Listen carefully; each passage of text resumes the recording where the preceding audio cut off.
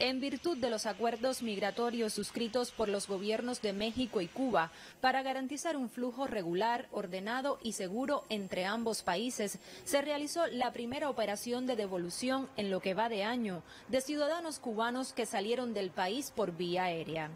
Se trata de personas que transitaban de manera ilegal por el territorio de la nación azteca con el propósito de ingresar a los Estados Unidos. Con esta operación en el año 2021 se han realizado un total de 28, con 538 devueltos, con excepción de esta, que es la primera del año en que se devuelven personas que salieron del país por la vía legal. El resto corresponde a personas que intentaron emigrar por la vía ilegal marítima.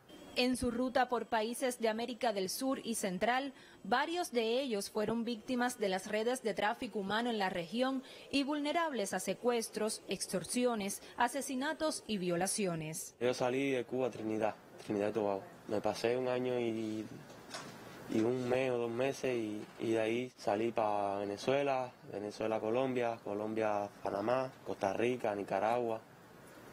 Eh, Honduras, Guatemala y México. Salimos de, de, Chile, ya nos fuimos a, pasamos por la selva, ay, no quiero ni acordarme, muy malo todo, muy difícil, pasando ríos, todo. Yo no le deseo a nadie que siga pasando por ahí, por favor. Muy difícil, la verdad. Tres días y tres noches caminando, ocho horas al día, atravesando ríos y bajo la lluvia, dos, tres días y tres noches mojados. Empieza a ver cosas que uno aquí ni se imagina ni ha visto, ¿sabes? Que solo lo ha visto en películas, cosas así. Te roban, te asaltan, violan mujeres, hay mujeres embarazadas muertas ahí en un camino que pasa por ahí las muertas. Son muchas vidas las que se pierden y, y, y uno siempre sueña, uno siempre tiene fe que le va a salir bien las cosas, ¿me entiendes? Pero la mayoría no son así. En los últimos tres años fueron devueltos a Cuba alrededor de 4.900 migrantes irregulares. Siento dos cosas, siento felicidad porque voy a estar cerca de mi familia, ver a mis niños, que tengo niños en las tunas, a mi mamá, pero también siento el sueño frustrado de, de poder haber ayudado más a mi familia. Ya estamos acá a comenzar de cero.